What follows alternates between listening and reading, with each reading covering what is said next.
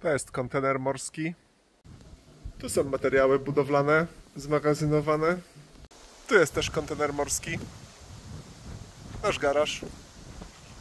A w nim Saigon. A tu jest dom z kontenera morskiego.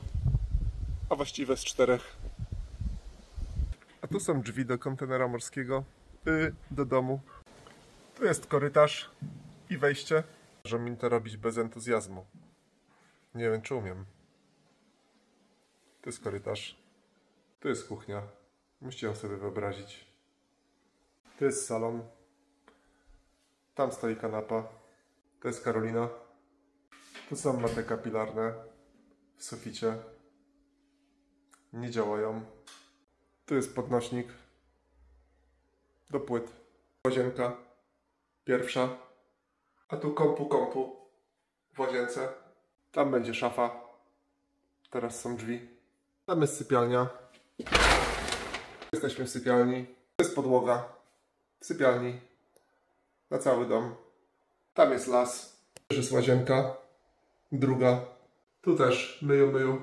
A tu jest maszynownia. A tu kable. I przewody. Rozdzielacz. Do mat kapilarnych. Rury na suficie. Po drugiej stronie maszynowni. W szafie. Znowu kable. I przewody. Rekuperator. A tu stacja do uzdatniania wody. I sól. I uniflot. I pilarka.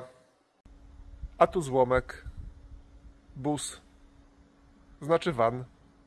A tu mieszkamy. A tu Karolina. A tu słupki fundamentowe. Tu garaż. Będzie. Kiedyś. Zbuduj dom z kontenerów morskich. Fajnie będzie.